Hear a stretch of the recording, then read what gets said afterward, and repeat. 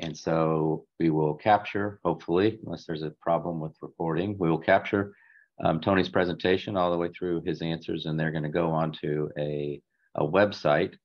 Um, and all the prior um, presentations are on that website, and access the, the link to that website is in the the uh, the invitation to the uh, to the webinar series, so everyone should have access to it. Um, if you don't, let me know, or if there's a problem accessing it, uh, let me know.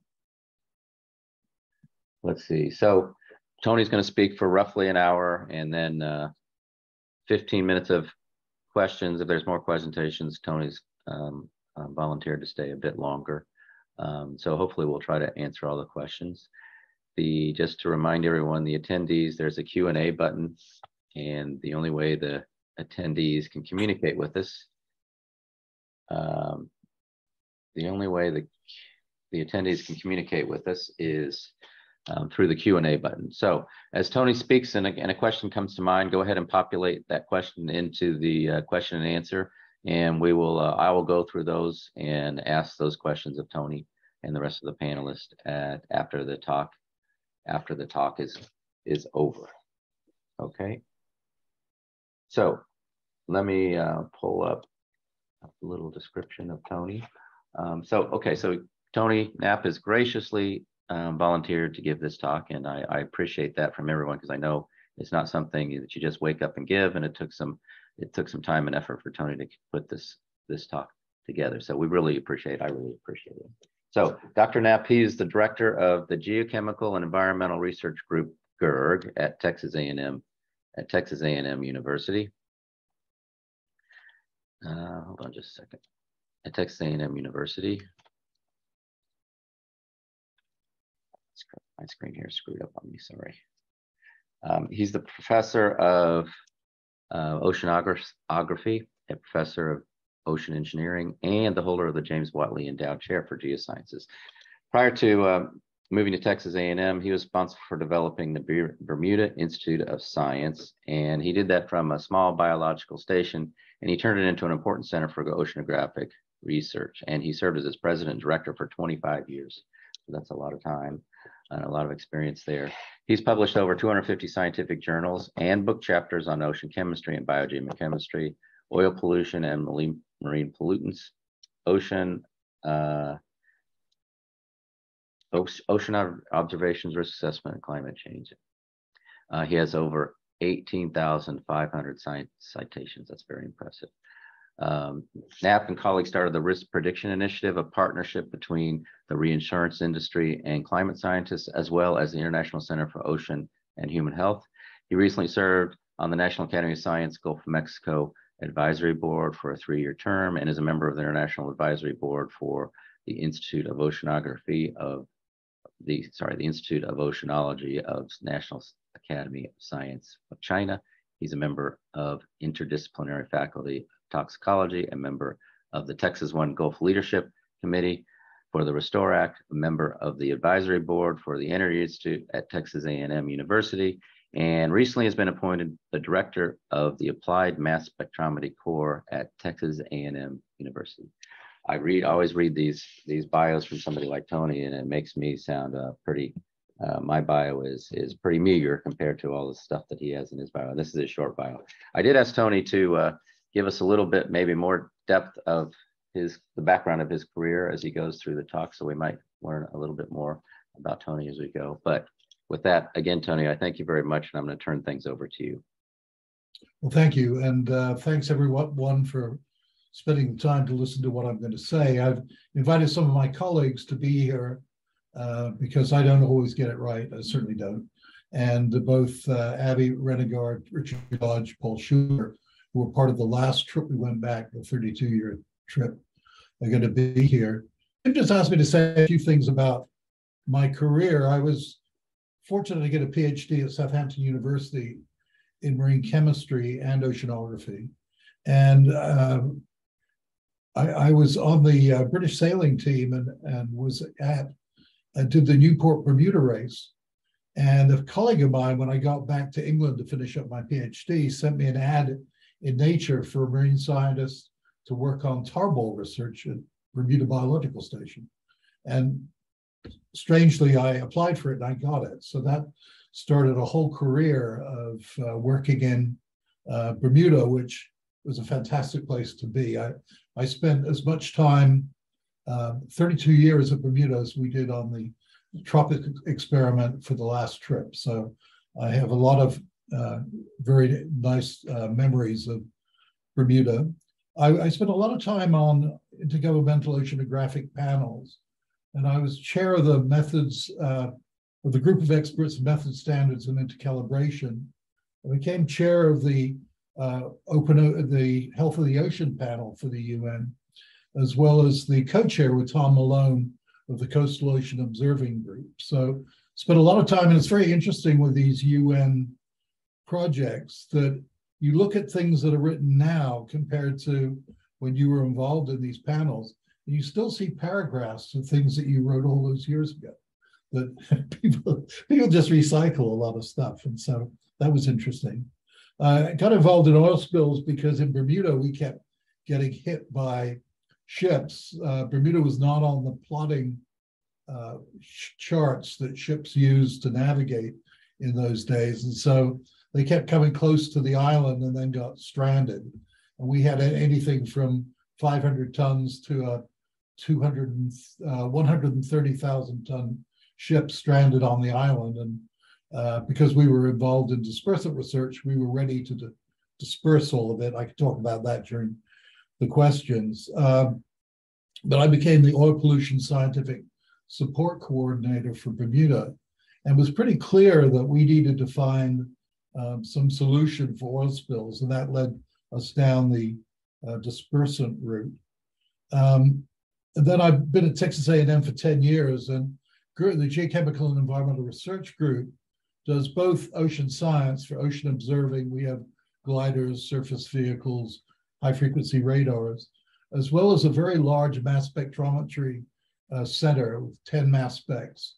And so it sort of fit my whole career of being in Bermuda doing ocean observing and uh, working on, on spills. We, we did quite a lot of work during the GOMRI program. We had three projects. One was ADDOMEx 1 and 2, which uh, Antoinette, Antonietta Quigg ran, and that was looking at, at uh, marine snow formation from uh, oil, triggered by oil. then we had another project that Abby was uh, Abby Renegar was very involved with, with us, which was called Detox. And it was the toxicity of, of marine organisms, mig- vertically migrating marine orga- organisms. And so he actually went out and caught uh, marine organisms, brought them back alive, and then dosed them with oil and, and dispersants. But in order to save a lot more organisms, we actually found that we could use a commercial shrimp, and, and we put that commercial shrimp on more or less a tox level that was similar to um, the deep sea organisms. So that was sort of that. The the one of the more interesting projects I've ever been involved in is this project we're going to talk to you about.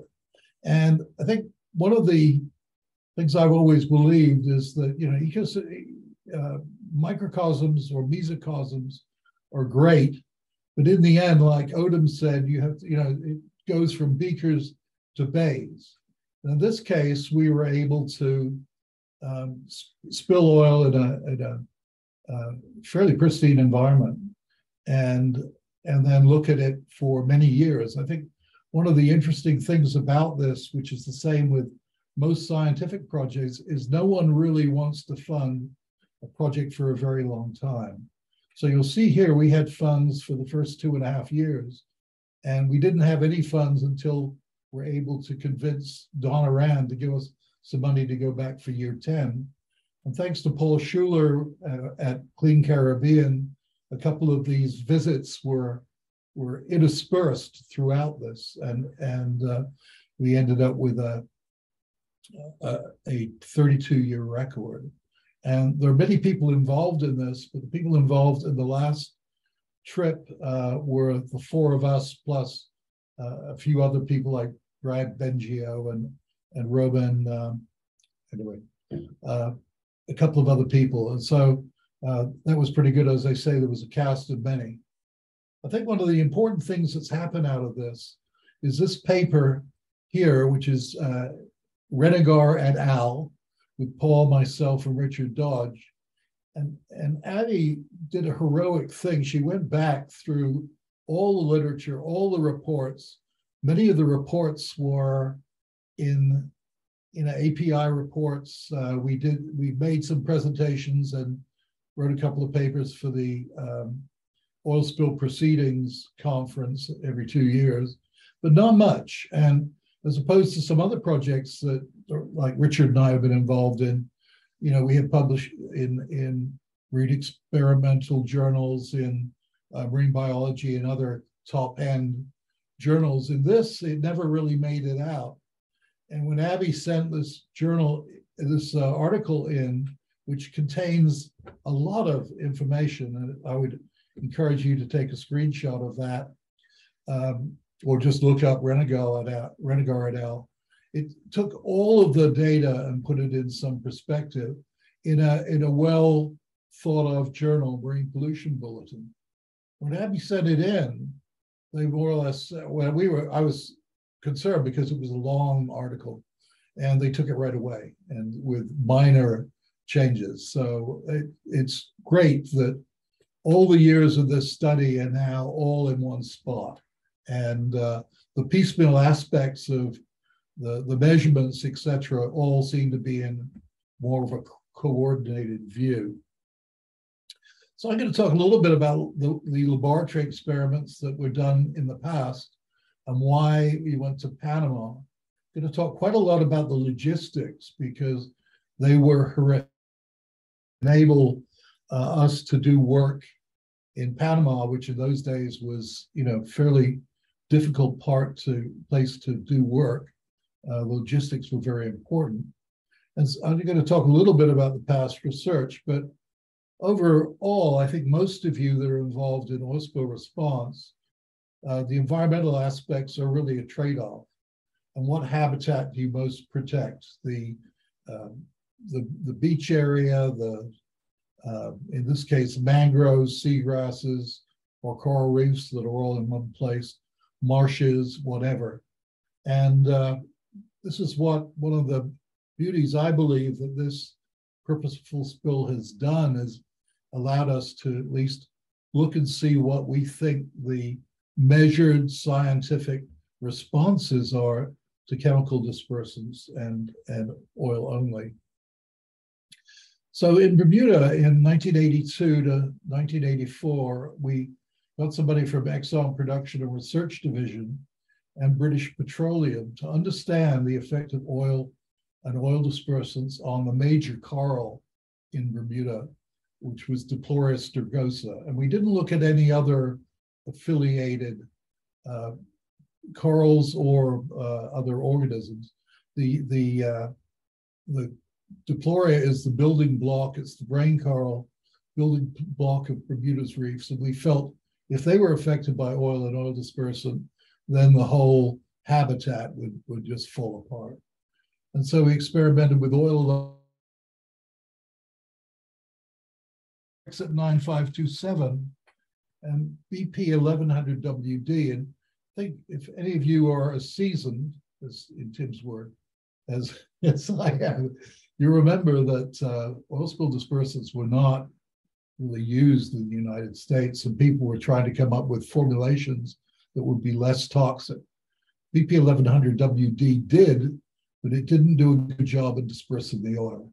And our view is if you're going to use a dispersant, disperse the spill. What would happen with BP 1100 WD is it would make large droplets and then coalesce on the surface of the tank.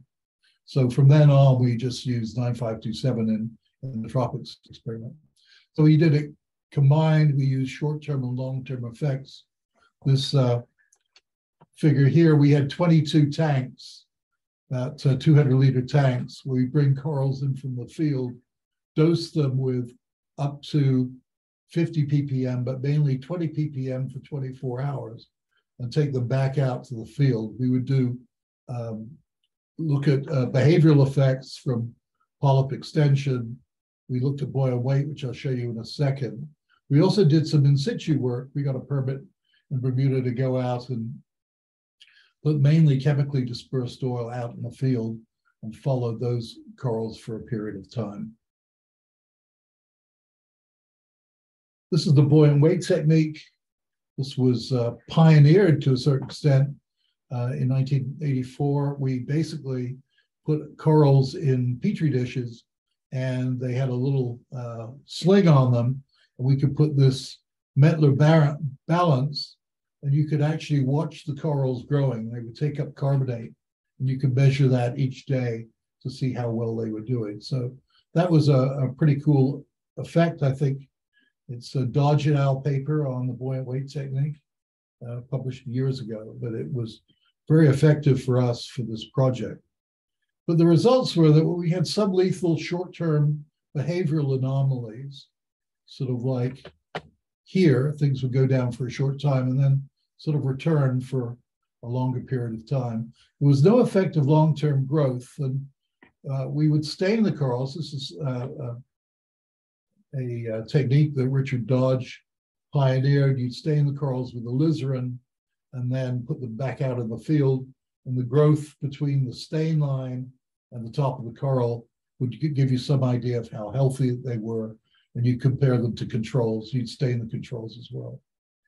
And then that led to actually the Bermuda plan to say that we would chemically disperse in 10 meters because we found out the corals would even with a 50 ppm for 24 hours, they would bounce back.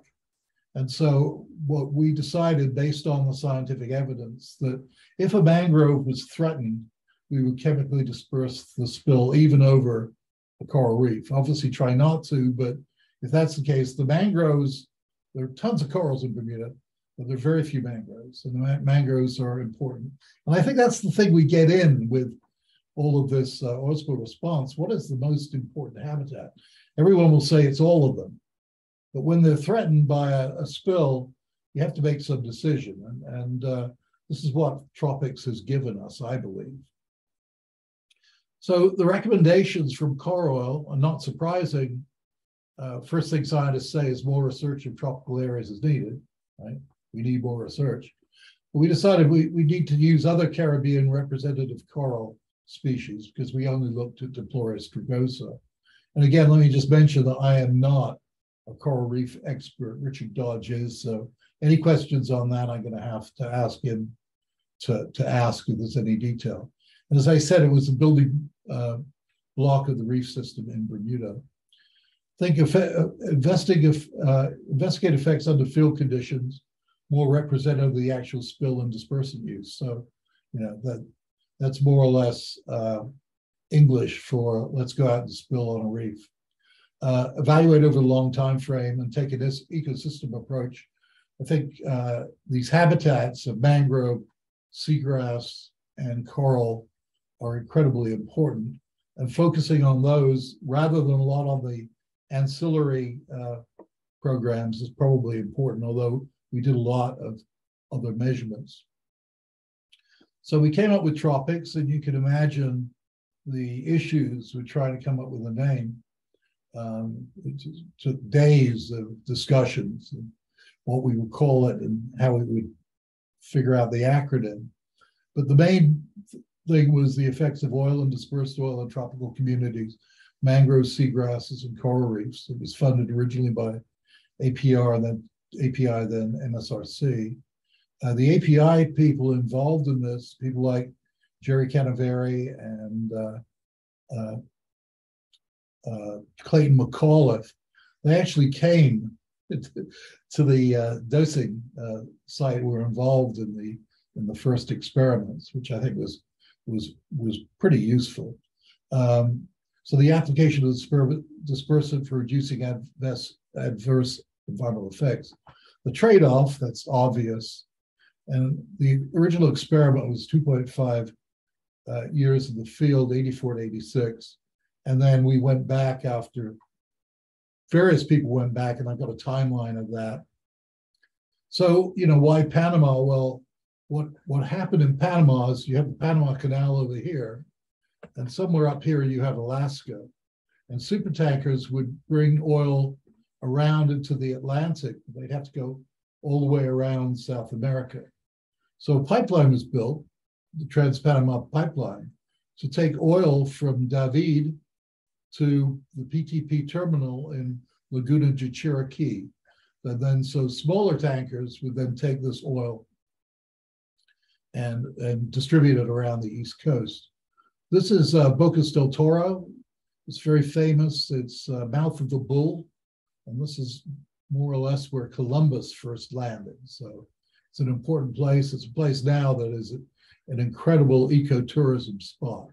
But anyway, the tankers would come here, would be piped over, and then you have this giant bay, which I'll show you now. This is the pipeline, and the pipeline was expanded in 2003. There were uh, storage on the Atlantic side, and then uh, there's an offshore terminal here, and smaller ships would would pick up the oil, but they'd have to traverse through the whole of Laguna de Chiriqui. And this is the largest mangrove ecosystem uh, in, in, in the Car Caribbean. And all of these islands, you can imagine if one of these ships in transporting oil hit a, hit a, hit a reef and spilled oil, it would be a completely huge mess in this really beautiful uh, mangrove system.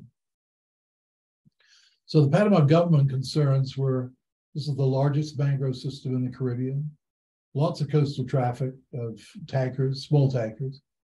It's a place where there are just lots and lots of tribal fishermen who live, subsistence live by fishing, and they actually live in the mangroves. You can go there and see houses and huts in the mangroves themselves. And we've learned in the past, at least prior to this, that mangroves were susceptible to oil contamination. There were a number of studies done. And obviously, with all the prop roots, cleanup is very, very difficult. So the question was if there was a spill, could you use chemical dispersants as an option? And remember, at that time, they were not licensed for use in the United States. So this is the scenario. So you have uh, high tide and low tide. And the tide difference is around 30 to 35 centimeters. So the oil only would come in and coat the mangrove roots all the way up to the high tide line, which is uh, there. You see that in the next slide. And then seagrass beds would hardly be affected, but slightly at low tide. The coral reefs would not. And so would only the uh, soluble compounds, which are um, not that many would would affect uh, these areas here. Many of these seagrasses, but hardly at all the, the coral reefs. And if you look at the dispersed scenario, you uh, get get uh, very little oil on the roots of the mangroves, and and uh, high concentrations all over the seagrass and down the reef front uh, for the coral reefs. So this this was the trade-off.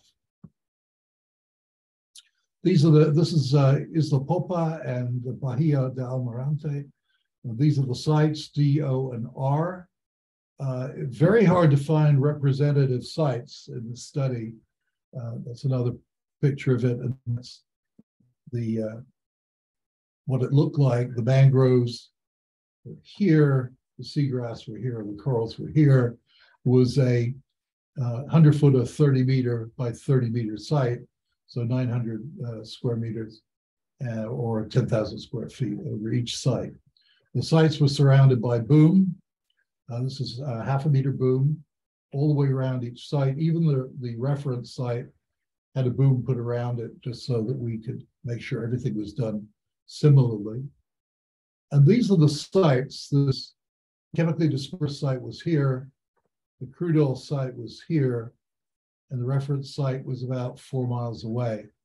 We spent a lot of time, as you'll see from the timeline, trying to find the right site. Sites would be similar.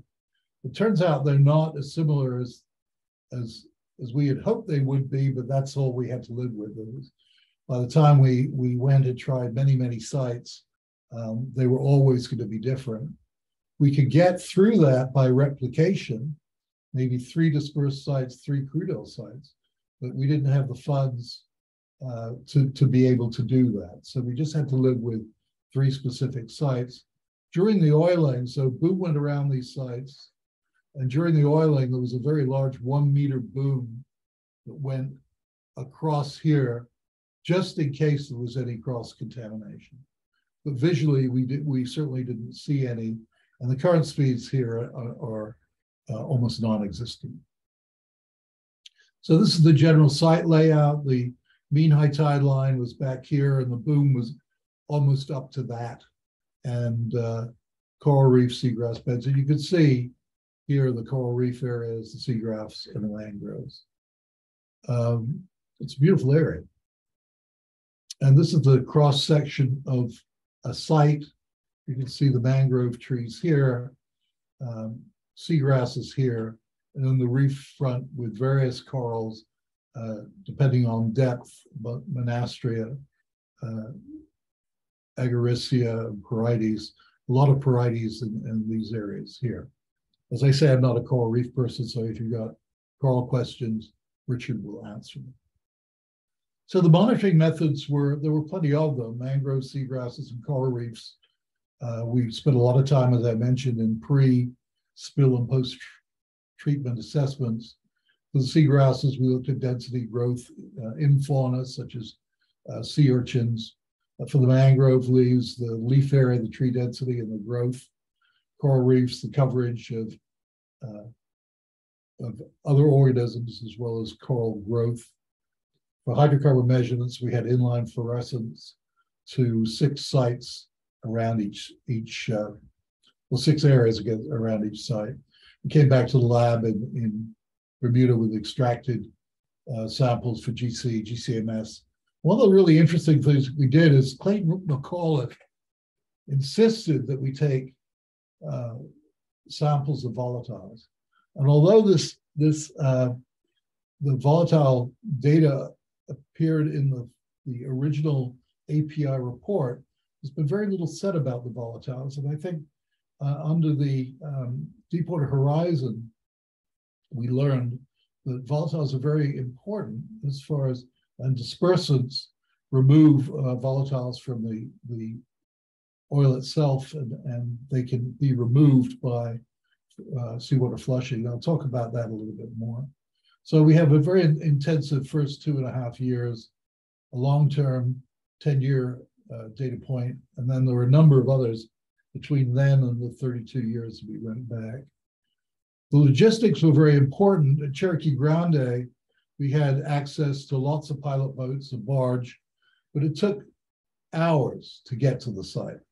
And uh, that was a, a, big problem because people would just get completely wiped out getting there, and then we had to work the whole day and night, and and uh, so that was a bit of a problem uh, issue. We even had a helicopter to take aerial survey.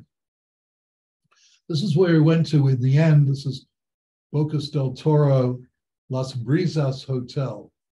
And this was in uh, Bocas, which used to be the capital of Panama uh, until about 1860 uh, and uh, was moved to Panama City because of an earthquake in uh, Bocas del Toro. When we went there, there were two restaurants, one at each end of this giant street, and uh, they would serve the same thing depending on what was caught that day.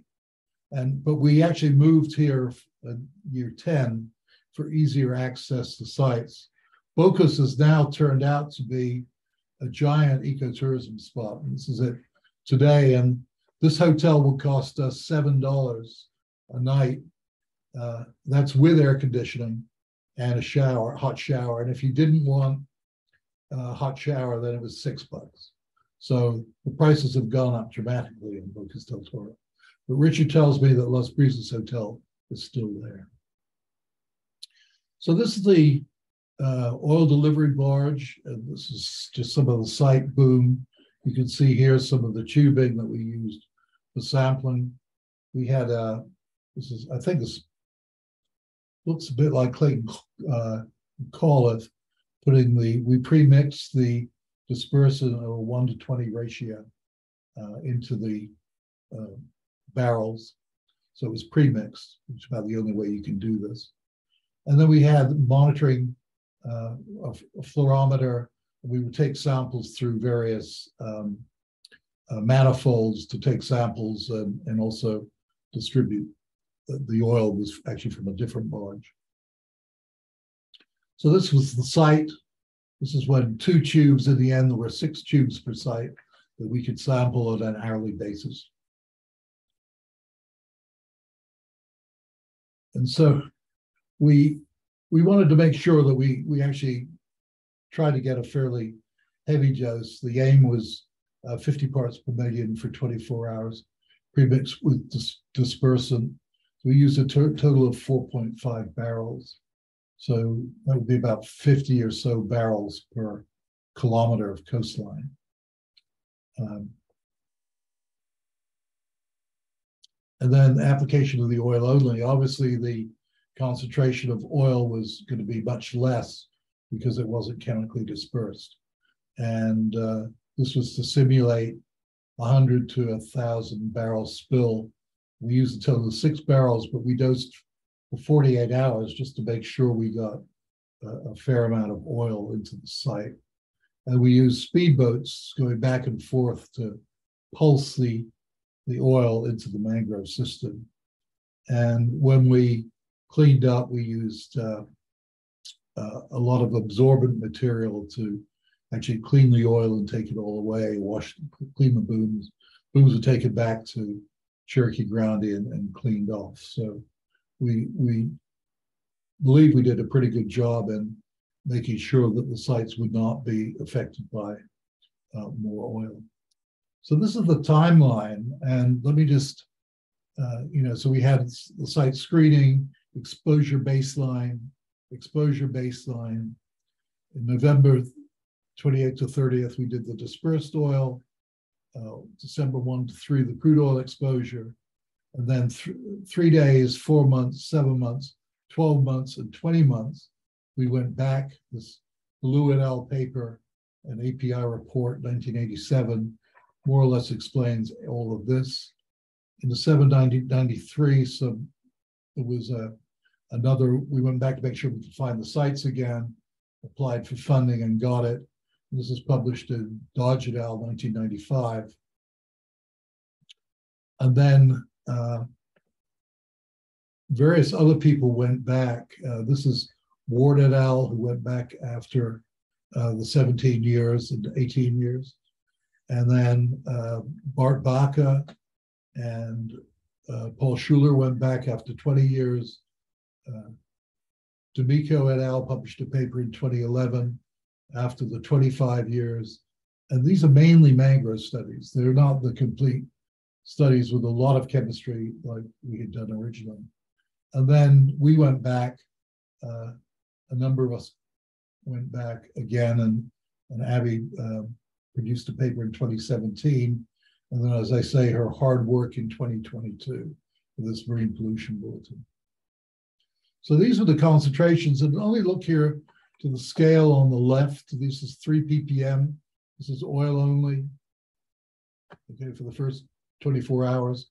And this is the coral area, seagrass area, a mangrove area. So we got about 3 ppm to 3 ppm more or less constantly. In the chemically, chemically dispersed oil for the first 24 hours, in the coral area, we, we got around uh, 15 to 20 ppm uh, for the dispersed the seagrass area where it's shallow and, and uh, concentrations um, went up to 80, it's well over 80 actually, because the fluorescence instrument would quench over 80 ppm. So we got a fairly good dose there. In the mangrove area around around 40. So we we had some control over the concentrations and we know at least what the dose was.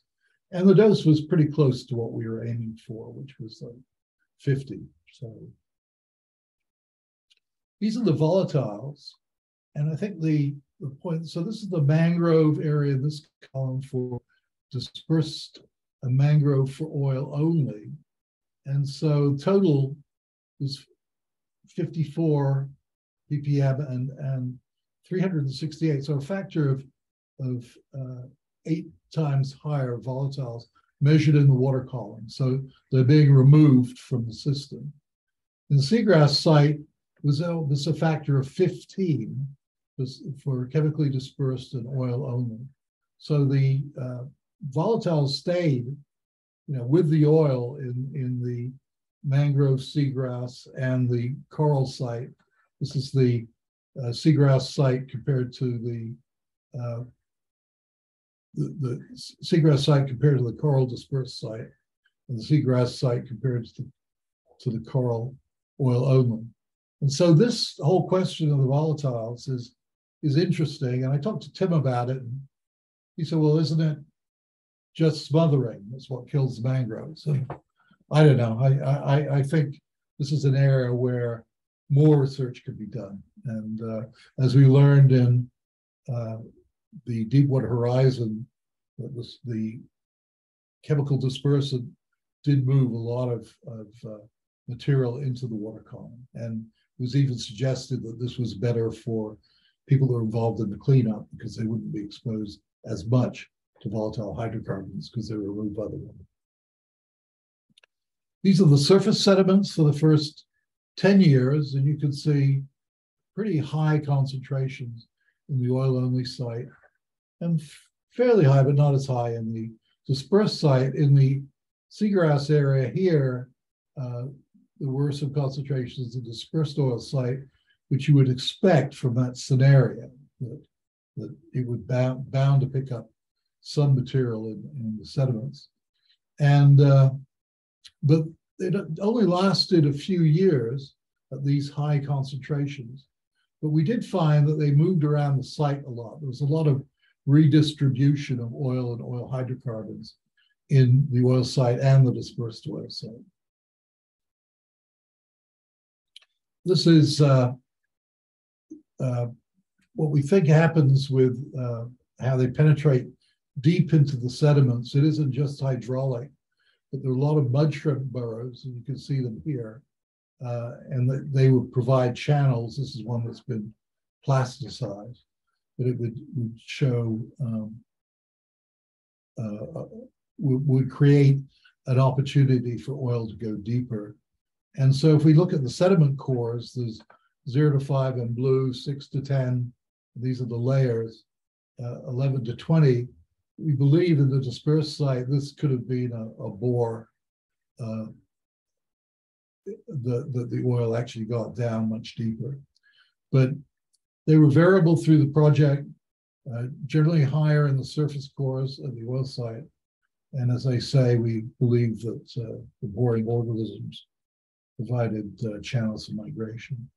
Coral reef monitoring methods, we looked at the shallow fore reef, various transects. If you need more information, Dick will provide that. Uh, we had short-term alizarin staining, as I mentioned in the original coral experiment, and then uh, long-term sclerochronology. Uh, these are the replicates of transects. You can see these are all porites. You can see the transects and divers would just, well, snorkelers would just go around and, and, and, and count them. And then there were four fixed 30 meter transects per site uh, this is the visual effects of dispersed oil following treatment.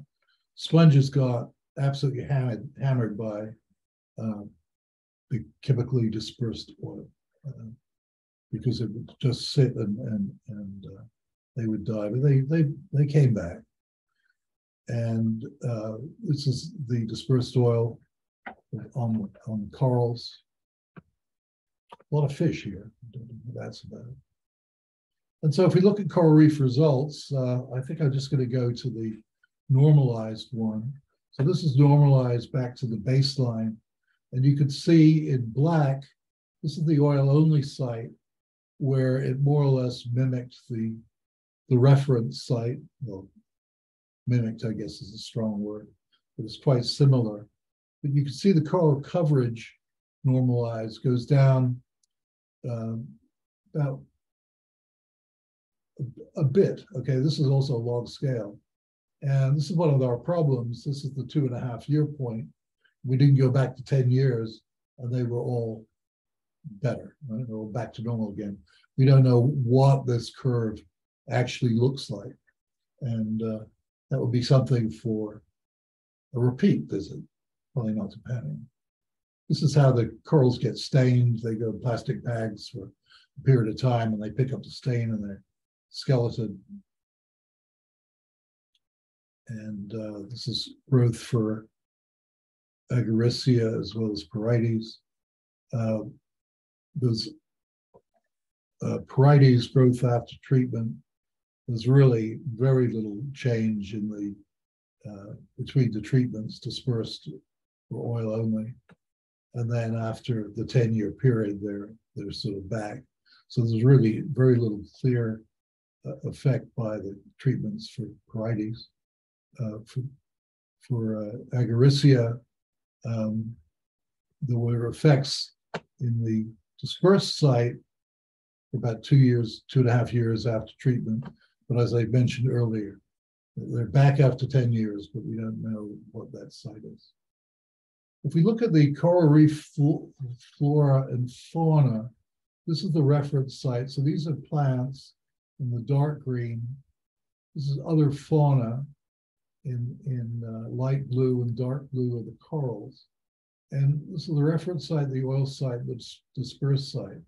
So you can see what actually the other plots that are showed is that the corals um, decrease uh, over time. So the oil only there was no coral bleaching, significant decrease in coral percent coral cover for two years, recovery after 10 years, but no significant effects on coral growth rates.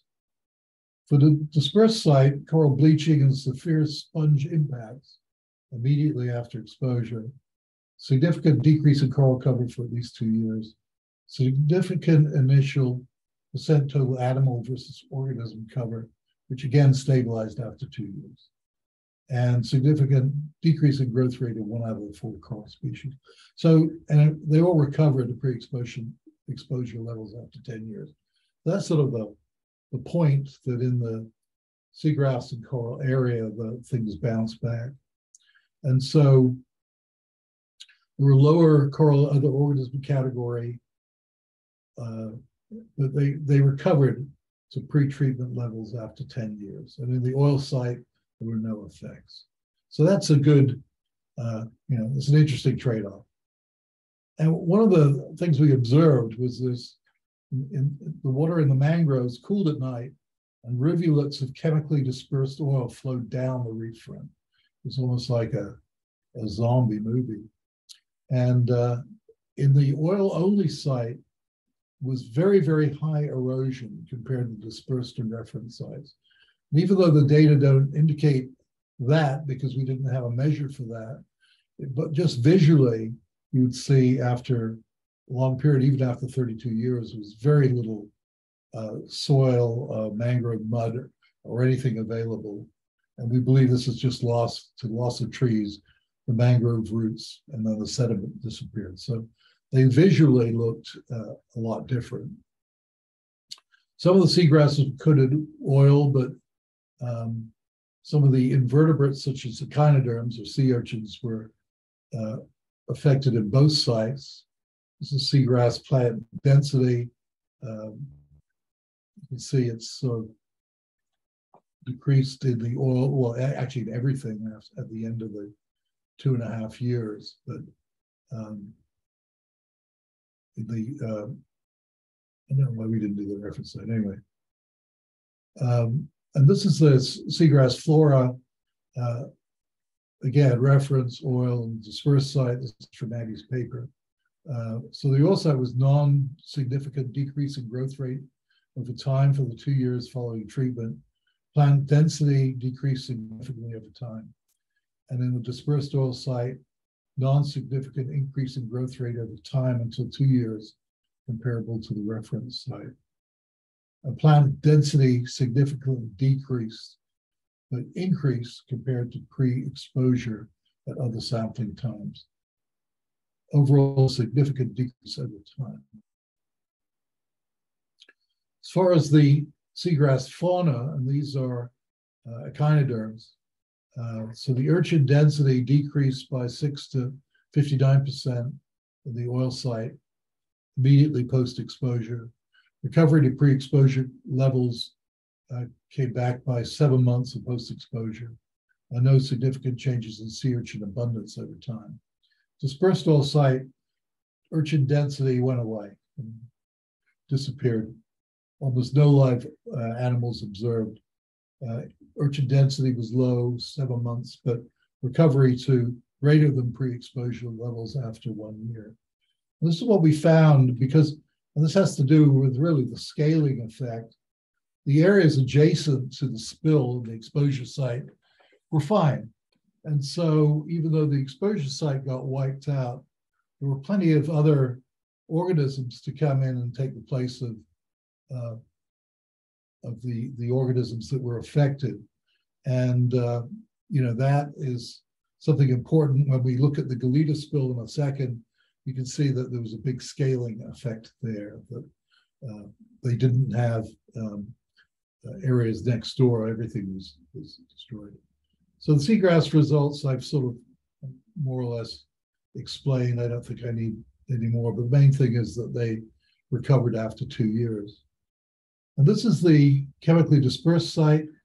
On the left here, you can see that mangrove roots, mangroves are in great shape. The prop roots are all here. I don't know if any of you walked around a mangrove, but you're basically crawling over um, prop roots most of the time. And this is a video of the dispersed site, courtesy of Paul, video by uh, Nick. So that's that site. And if we look at the oil site um, in June 2001, August 2004, you can still see some sheen. The main thing you see is this completely wiped out area, uh, even, even after 32 years. So um, oil only has a giant effect on mangroves. And this isn't new. I mean, the Galeta spill in Panama showed the same thing. That uh, once you get oil into a mangrove, it's very difficult to get it out. And these are just, uh, this is sort of me taking some samples. This is the uh, gas chromatogram and some of the samples are massively degraded. Um, we use some uh, XAD2 resin to get some large volume samples. And this is like fresh Prudhoe, and this is an oil blob from site O after 10 years. So in the mangrove habitat, in the oil site, there was a significant decrease in canopy density, significant defoliation, and obviously an open canopy. So with the leaves gone, it became more open. Uh, after seven months, 17% of the trees died and 46% lost after 10 years. Uh, there were, though, significant increase in seedlings after 10 years, and after 29 years, more mature trees and seedlings in the dispersed or reference site. A lot of the oil degraded and didn't create a long-term problem. I think one of the big problems that I mentioned before was the uh, degradation or the um, the sediment removal, the erosion, which doesn't give a great uh, opportunity for uh, a lot of things to grow. And dispersed oil side, there's no changes in canopy density, no initial, initial loss of adult trees. Two trees died after 10 years. We, we had, we had uh, tagged many of the trees in the area, so you could identify them from the tags. And sometimes you couldn't find tags because the trees died. I think uh, there was no significant change in seedlings.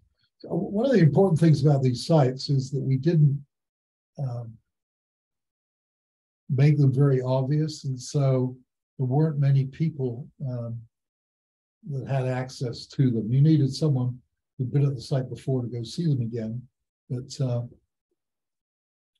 uh, that way the site actually stayed sort of pristine on a scientific basis. And as far as the mangrove fauna, the tree snails dropped by 49%. Um, and the dispersed site, they also so dropped, but they recovered in a year. So we, we did a lot of these things. We did uh, oysters, mangrove oysters, various other oysters, looked at tissue concentrations, etc. So all of that is in the supplemental pages of Abby's paper in marine pollution bulletin. I suggest you go and look there. And uh, the short term was devastating impact um, in the short term and lingering 46% mortality after 10 years. So there truly is a trade off between chemically dispersed oil and oil only. This uh, spill had happened just after we did our last uh, site visit, which is a major spoil, spill near the Smithsonian Marine Lab at Galeta. About uh, 60,000 to 100,000 barrels were, were supposedly spilled. Again, a very difficult because it was not a controlled spill. Uh, MMS spent uh, provided five years of money to the Smithsonian to monitor the effects. Uh, it was not controlled, and it was an area of many prior spills. It, uh, there was a lot of urbanization and Panama Canal. This is the site, or part of the site. And there were significant reductions of live coral cover. Acropora was affected, decrease in coral fecundity, recruitment, and growth. But they, the uh, terminal uh, at night sprayed a lot of dispersant on the site. We don't know how much. It was uh, estimated to be about 22,000 gallons. But you won't find that in, in anything that's written down. And we think, we, uh, Richard Dodge and I think a lot of the coral issues were because the oil was dispersed. It didn't come from just uh, oil only. So the implications of Tropics project that, that hydrocarbon spills small size and short duration are of concern in the tropics as they are in many, well, everywhere. Uh, cleanup with dispersants were beneficial for mangrove structure. I have to realize though that we did this as uh, pre-mixed. And so we don't know what effect spraying um, chemical dispersants would have on mangrove leaves, etc. But um, so it's beneficial for man- mangroves, but not necessarily for shallow corals themselves. There are scaling effects. Uh, this Odum uh, has a interesting thing about mes- a paper about mesocosms that uh, beakers to bays, and uh, we've seen lots of during GoMRI, lots of experiments in beakers uh, to determine what effect oil has on organisms and uh, ours was a, a, bay experiment. Uh, and I still think we need more precise uh, idea of what the short and long-term effects are. And uh, there were variable effects for dispersed and oil only by location, dose, and species. So if mangroves are threatened, pre-approval of dispersant use should be authorized in my view. These are my view. Uh, dispersant use should be pre-approved quickly so Oil needs to be dispersed while it's fresh. Um, you can't disperse uh, aged oil very well. And once whole oil gets into a mangrove, there's really no way to clean it up. And the mangrove system is compromised for many years. We know for at least 32. If we go back for the 50 year, um, we'll see we'll see what it's like after maybe for me 40 uh, with my seasoned nature. Uh, the oil levels used corals and seagrass to bounce back. And corals took uh, two to 10 years. We don't know what that number is. And seagrass is one year. So if we could do it again, we'd use three replicate sites per treatment. Uh, the huge gap between the two and a half years and the 10, we'd probably fill that out with five and seven and a half. Uh, follow the habitat itself. We did a lot of work on various other things like uh, uh the mangrove oysters and other things. We probably not focus as much on those as we would on uh, mangroves, corals, and seagrasses themselves. I think there's much more of the volatile hydrocarbon story and the mangrove rapid death. I think that can be done without uh, a large spill. Uh, we would use remote measurement systems, drones to, for, for some of the uh, uh aerial views, and then uh, chemical measurements, which have improved dramatically. And we need to find a venue that has as much to lose as Panama, Panama does and has a robust tropical ecosystem. So, Tim, that's over to you. So, this is just the summary. Uh, and, you know, clearly there are trade-offs when you use chemically dispersed oil. And uh, these are the related publications. This uh, talk is going to be published uh, or presented on an API web page somewhere. But you can see a lot of these are in the, this is in uh, an API book. This is in uh, Oil Spill Response Corporation report. And then there's a few in the oil spill uh, literature, but uh, thanks to, to Abby, we have the whole story published in Marine Pollution Bulletin. I would encourage you to have a look. These are the uh, some of the contributors. I was so I was working on the site. I was trying to write down names, and, and these are some, but certainly not all. If any were involved, that uh, please let me have your names, and and uh, we'll add them to it. We'd like to thank our funders, including API, MSRC, and Clean uh, Caribbean Americas. And so there's, um, I think as far as funding, uh, you know, we're very pleased that we got the funds to do this. I think it's an important project. But I'd love to hear your comments and the questions that both Abby and Dick will answer. Thank you. Oh, thanks, Tony. That that was great. Um, and I really appreciate you doing it once again. I, I should have mentioned at the beginning what we're what I'm trying to do. The previous kind of webinars we've had have had been more focused on kind of individual experiences, and then Tony has all this great experience from the tropic study. So we're trying to this presentation and then uh, in the next few, hopefully, we're going to try to bring back these seminal studies and and make sure they don't get lost from uh, from people's um, you know minds right now because I think they're number one the ability to put oil into a mangrove forest like this is is quite challenging to do now and so we need to take as much learnings as we can from these studies when it was when it was allowed so we have this tropic study today um, next month i hope we haven't got everything set up yet but we hope to um, have a similar lecture on the baffin island oil spill uh, studies. We might have two lectures because there's an onshore um,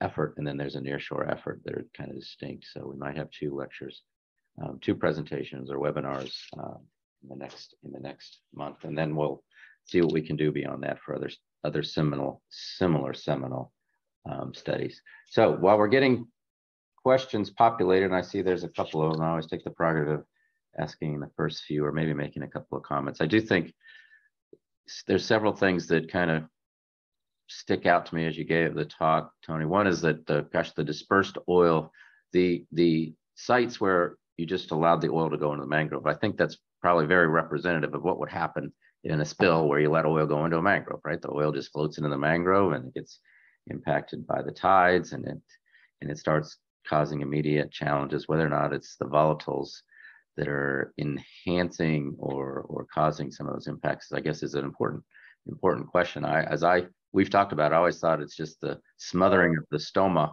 of these mangroves and it happens immediately i've, I've had conversations with jerry Canevari about it before he passed away and and that was what his his thinking was what was the main impact is just as soon as you get oil into those uh, into those uh, stems of those mangroves they're goners because you smother those and they can't breathe anymore um, and they're they're in trouble.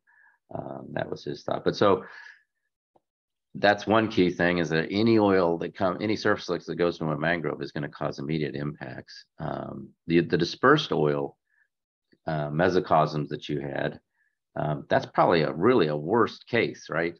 It, ideally, if you if you knew oil was going into a mangrove, you'd want to catch it and disperse it in deeper water, somewhat further away, right? And but but even so, it looks like depending on your perspective, you even if you dispersed it right within what a, a, a few tens of meters of the of the mangrove forests, you you you still can uh, maybe argue that there's important benefits um, by by applying dispersants that close to the mangrove. But I think in a real spill, you might try to do it past the shelf and away from the corals uh, and get a little bit deeper water um, even if you were quite close to the mangroves.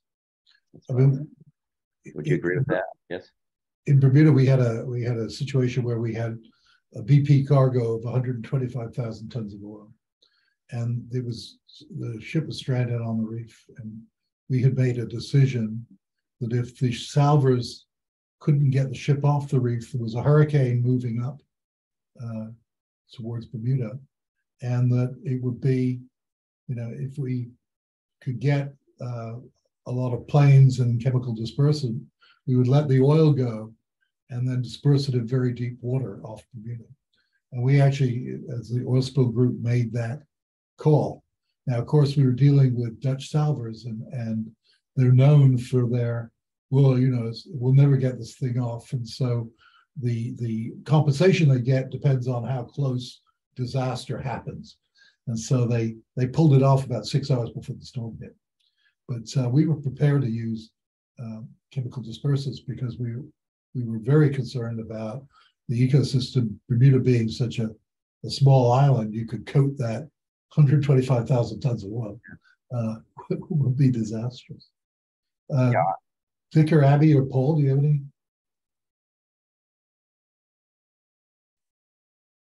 I mean, it just seems that the fact that it's not necessarily the oil that's causing the impacts 32 years later, it's you lost the you lost the uh, the soil that's that's necessary for for for those mangroves to come back. So who knows if they're going to come back? I, I do think you know we should talk about how we we get back at 40 years and and make sure that this site is exploited as much as it as as much as it as it as it can be. That's over to Abby. Yep. Is it?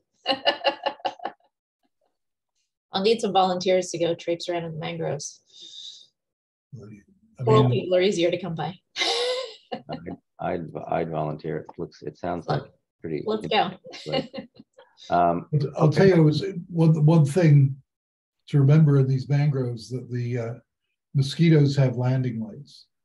And it is an absolutely miserable place to be.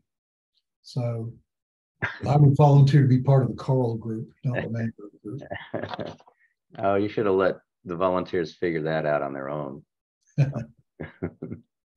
okay, we have some questions, and I'll, I'll go. I'll go through um, the questions, Tony, and answer them if you think, or pass it on to someone else uh, in the panel if you want. Okay, so from first question here is uh, also if you could do it again, I think that you would not use fresh oil, but representative of some weathering at sea prior to dispersant application. I guess that's a comment, but any any thoughts on that? Tony?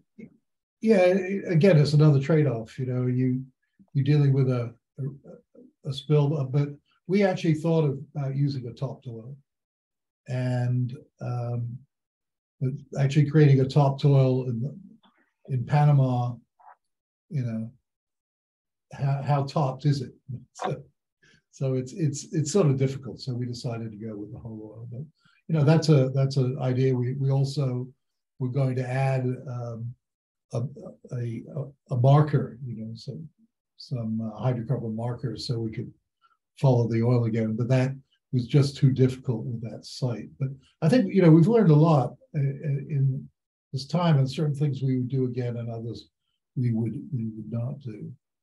Richard, do you have any thoughts or?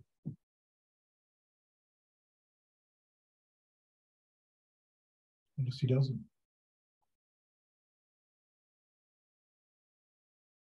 You can hear us, Richard? Yeah. Listen, Tony, Tony sounded, his explanation was good. I, I, I'd suggest, Tony, that your scenario in that bay, I mean, it's, you know, certainly it's not going to be fresh oil, but it might not be 24 hours before it starts going into mangroves. But right, this, so some of the scenarios from the shuttle tankers of oil going into the mangroves could be just a few hours. But I, I would suggest that fresh oil is probably a worst case as far as the amount of oil that would get dispersed into the water column, right? It's the oil was as dispersible. It's gonna, yeah, it's gonna be. But uh, weathered oil, you might have a fraction of it that stays on the surface that could have done similar types of impacts. Uh, it yeah, might so, not have 100% dispersed, but that depends on how weathered it was and how dispersible the oil was. Oil that's weathered 6, 12, 24 hours in a beaker at least can can be you know 95 or more percent dispersible pretty easily so.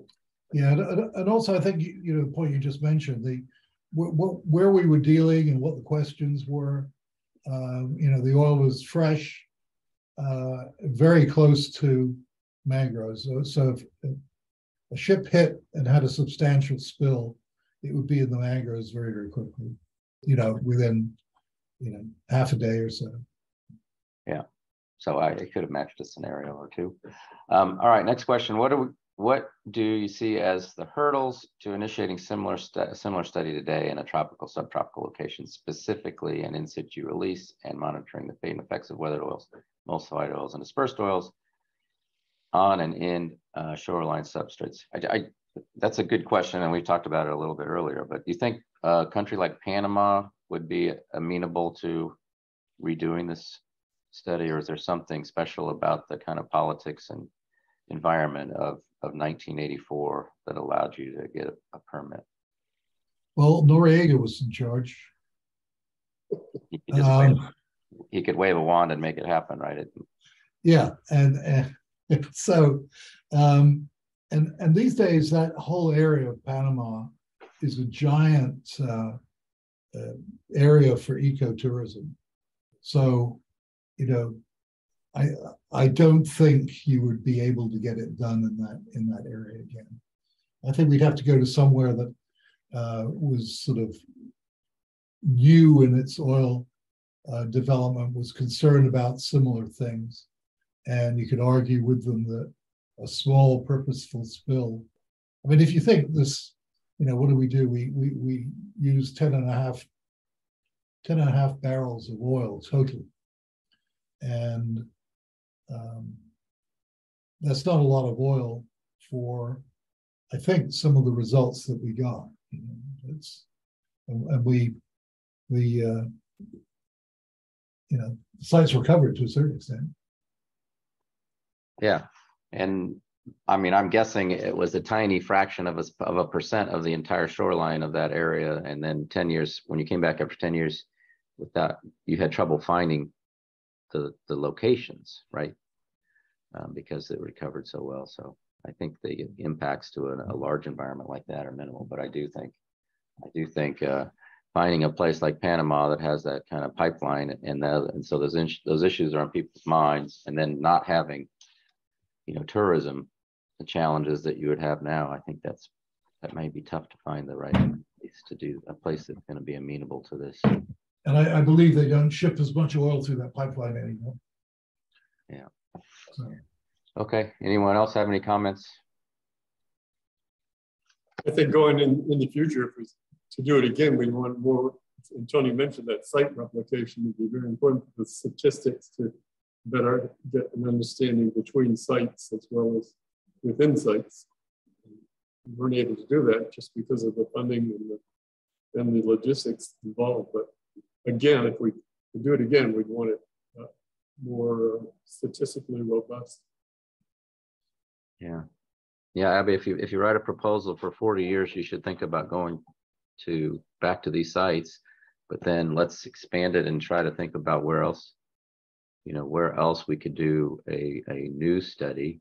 Um, to be maybe more statistically robust or do something a little bit different, different environment, things like that. But where that study is and getting the permits for that uh, is uh, the challenge. I mean, the beauty about these sites was how close the coral seagrasses and mangroves were to each other. And so, you know, that really gave you the NEBA or the, you know, environmental benefit analysis opportunity. And so that's pretty unique. All right, next question. Were you able to identify any impacts due to major storms, hurricanes, to uh, site conditions or your data over the years? Abby, do you want to take that? Yeah, I was looking at that question. I, I, uh, it's not something that was really looked at, and I didn't, um, in the in the retrospective review, I didn't uh, look and see what hurricane tracks were through the area, but that's certainly something that could be assessed. I don't think we really saw any at, at the 32 year visit anyway, any obvious hurricane impacts. Um, That area of Panama doesn't receive many or hardly any, yeah. occasionally a hurricane. So And, and I recall that's one of the reasons we picked we picked the site, is that um, it's very rare that you get a hurricane in, in Panama. What, what would happen to a, a mangrove forest like that if a hurricane came, you know, a strong hurricane came right through it? Would it uproot everything and destroy it, or is hurricane or those places designed to handle that kind of event? It depends on the storm surge. Um, I, when we've had hurricanes down the Keys and stuff like that, you you lose a lot of, you know, really all the leaves from the mangroves, but generally, generally the mangrove structure itself stays unless you have enough, you know, water flow to really remove a lot of sediments and and remove trees and that sort of thing. Just just based on what I've seen in the Keys, uh, mileage may vary, obviously, depending on the storm. But this that location for tropics was kind of a protected bay, right? That's Mhm. It was very protected, yeah. Yeah, okay. Next question: Do we have long-term follow-ups on other mangrove impacted by oil? That is uh, Islet in Tampa Bay 20 to 25 years ago. Any comments on that? 20. I don't I don't know about uh, the Tampa Bay. I'm not sure. I don't think there have been any follow-up studies with uh, with Galeta either. I know they lost a lot of mangroves, but I don't believe so. For uh, MSRC, the no, it's not MSRC, for the uh, GoMRI program, I was sort of interested in going back to all mangrove sites around the world and see what they're like, but um, that wasn't something that was thought to be important. Yeah, there's another objective to put into your proposal, Abby. We go the the spill in Tampa Bay. I guess it was in the mid 90s or so, and then the Galeta site. Let's find some of those locations that you know we don't have all the history of sampling between, but let's see, you know, 20, 25, 30 some years later, what's the if there's still observable impacts from from much um, larger oil spills than happened at tropics, I guess. I mean, there's a lot of data from the Galeta site. We were involved and Dick was on the advisory board and, and Smithsonian did a great job in recording everything. And the, and the Galeta site did have oil that went right into the mangroves. Is that Yes. Okay? And one so- of the fascinating things about about sites that are obvious like that, I mean, where we were, you know, we didn't make it obvious that that was an area we were studying. But in the uh, Galeta site, there were boats that uh, would clean their bilges out because they knew there was a lot of oil. And so they would go past the site and put some more oil there. As far as I remember, there were a number of of uh, uh, Kathy Burns found a number of other oils that were uh, spread out in the area afterwards. Well, okay, that uh, compli- complicates things a little bit. Was that site, you mentioned that the, at the Galeta site, that they do some nighttime spraying. Were, were they going, you think they were going into the mangroves or spraying over the top of the mangroves? Or was it oil that was on the ver, edge of the mangroves? Or do you have any idea? So we have no idea. I, I, I mean, And- spraying And I oil. think I think they were focusing on the reef area Okay, because that was the most obvious.